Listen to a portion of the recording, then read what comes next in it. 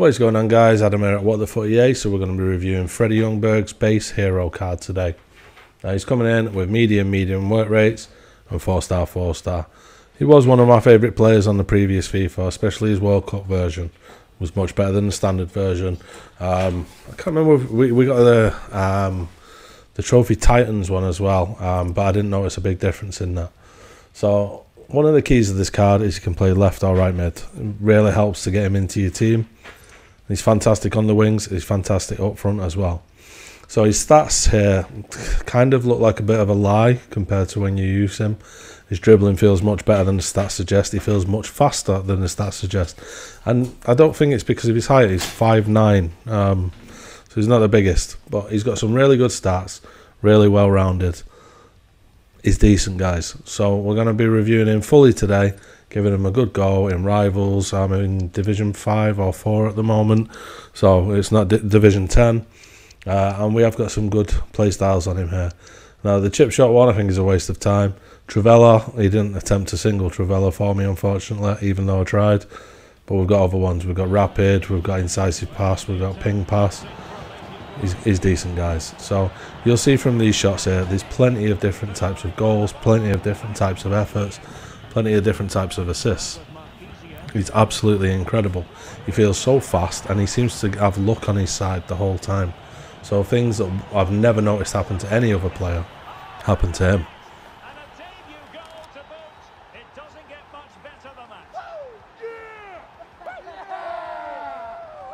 See now I remember when the icons first came out and they all seemed to we used to say that they would glide across the pitch, they didn't run and we used to say that they had some sort of hidden stats for luck and where the ball bounced and how they hit the ball and things like that. And this Ljungberg really does feel like that compared to some of the other players, much higher rated than him.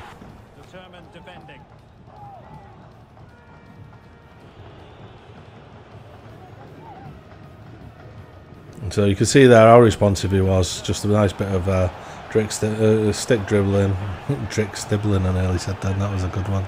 I'll definitely leave that in there for you guys. um, yeah, you can see how responsive he is. He's absolutely fantastic. One of the most responsive dribblers I've found on the game, um, and he just he, his strength doesn't even seem to come into it either. Like he's he's very weak on his stats. But he don't get bowled over or anything by any of the big lads.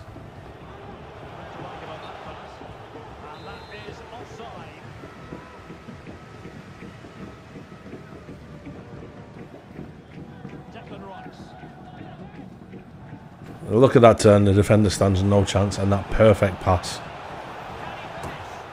Making Kanu look good here, guys.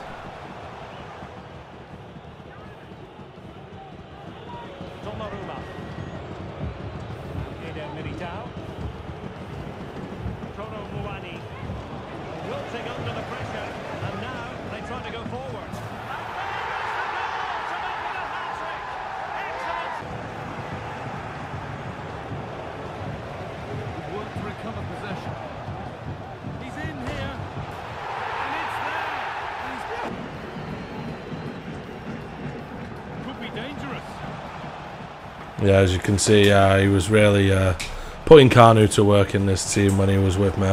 Um, he was really good though, guys. Um, I'm quite surprised at how well he actually worked out. His stats didn't suggest he was going to be very good. Um, as I say, I went into it hopeful that he would be as good as he was last year, but I didn't think that would be the case. But he's fantastic, and one thing that I did with him that I don't regret at all is when I was struggling in a game and my striker wasn't performing, I'll put Ljungberg up top, either as a two or as a one on his own, and he he got the business done, guys. He really did. Uh, he managed to get through on goal more often than most players that I've, I've used before. Uh, his pace and his dribbling made him almost impossible to stop when he got one on one with a defender. Um, it was really good, guys. Really, really good. Look at that run. Look at that run. And there's the look I'm telling you about. Nice little chip shot. And yeah, we do have the chip playstyle plus. Um, no, we don't. We've just got the normal chip playstyle, haven't we? Um, which usually doesn't affect anything. But it was it did something then. We got the look on that. And look at this one. That's what I'm talking about with the look, guys. Late on in the game as well. That guy won't have been impressed.